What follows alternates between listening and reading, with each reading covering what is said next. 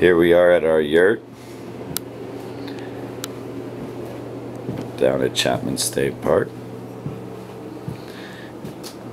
We have a skylight up there where you can see the clouds go by and dead bugs up in the screen. Let's go outside.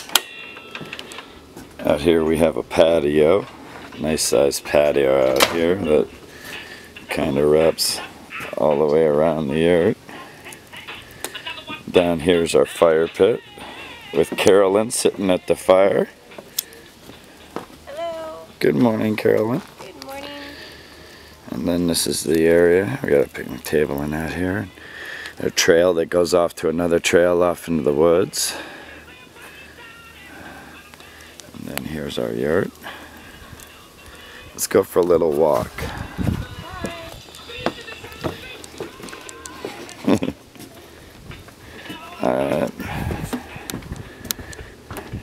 Right out here's where you park. And then over here is where we stayed last time. That was the cabin we stayed at last time. And then right down this road is where the lake is.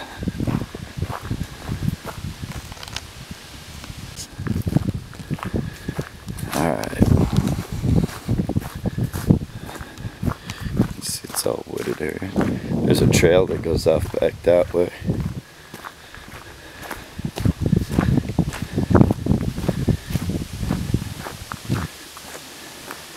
And as we walk down here, you can see that it opens up.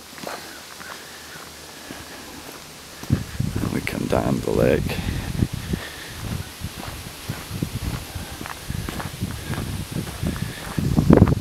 Here's where we keep our kayaks, so we can set in right here when we want to go kayaking.